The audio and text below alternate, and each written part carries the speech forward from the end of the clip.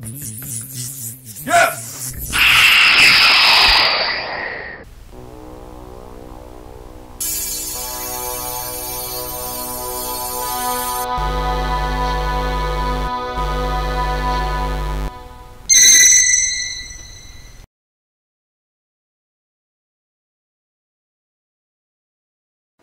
Hey everyone, Dante here with the Raging Geek, and today we're going to take a look at DC Superpowers. These are recently released retro action figures from McFarlane Toys. This particular figure, Batman, I got this at Walmart. They were only $9.99, so I was pretty shocked. You know, you have the nice retro packaging, a brand new McFarlane action figure, and $9.99.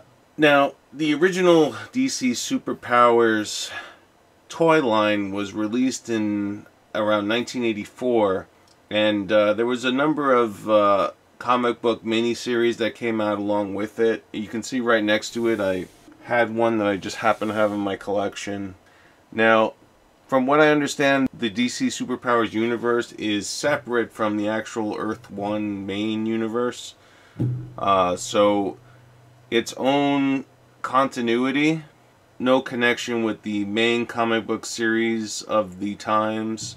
You know, for McFarlane toys, a real bargain. You know, usually the larger McFarlane uh, DC Universe action figures, you know, they go from anywhere between like 18 to, to 23 dollars.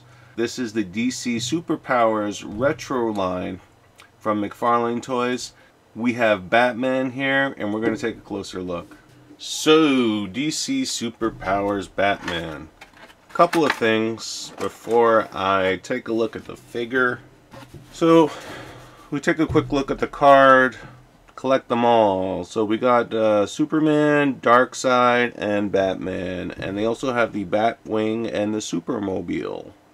So some extra figures and vehicles to take a look at to go on the hunt for if you are interested in this series. Another thing I noticed, so in the in the package the cape is secured by uh, one of these twisties and you see it actually makes a hole in the cape which isn't too cool. I don't even know why they really needed to secure the cape that way. I mean, I guess, yeah, I, I don't know why. I've never seen a cape secured that way, but they actually poked a hole through the cape and secured it to the plastic bubble inside with this plastic uh, fastener. Bad production process or packaging process on the part of McFarlane Toys, I want to say. You know, adult collectors do not like holes poked through their capes. Batman doesn't like holes through his cape either. Why would you poke a hole through my cape, McFarlane? Why? What did you do? What did you do? So, aside from that, you know, if we take a close look at Batman from head to toe, pretty basic action figure. They uh, they measure about four and three quarter inches. I think with Batman, you're looking at maybe just under five with his, uh, you know, the bat ears on his head. But yeah, pretty much uh, basic articulation. You know, arms kind of in this fixed position. They they go up and down. Head moves left to right. Uh, you know, legs forward and back, and just the knees bend like that. And that's pretty much it. So putting the cape on, it pretty much slides on the back of his neck like that, and that's it. And it's a very, uh, you know, for Batman cape, it's a very, I want to say, luxurious looking cape or regal looking cape. It's got like a very uh, thick ruffle around the neck. Take a look at Batman on the spinner. You can see him in all his glory with his nice hole in his cape peeking through. Now, a few years later, you know, after Superpowers, they came out with, you know, the Batman movie. And, uh, you know, the mold, pretty similar with those action figures, uh, 1989. You know, I'll, I'll put him next to this Batman. You can kind of see for yourself. So the, the original DC Superpowers figures, they were from Kenner, I believe, and I think later on, five years later, 1989 Batman, those were from Toy Biz, I want to say. Uh, you know, feel free to correct me if I'm wrong. I didn't really check, but from what I remember. And you can see the size is pretty comparable.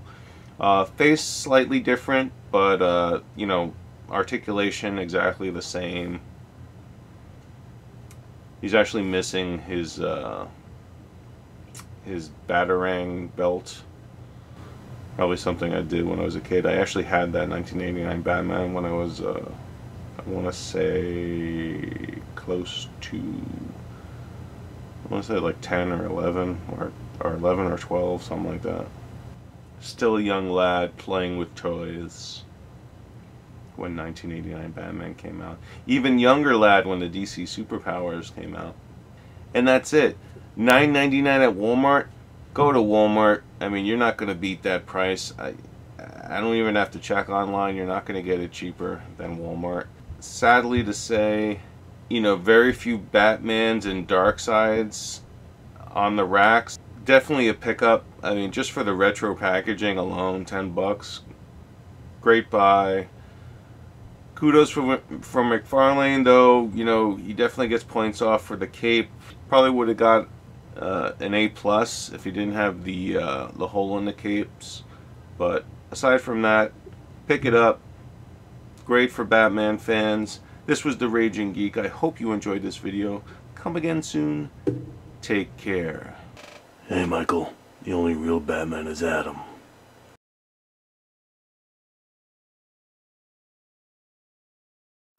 Raging Geek Retro all things geek. Where geeks can be geeks. Raging geek. Retro. All things geek.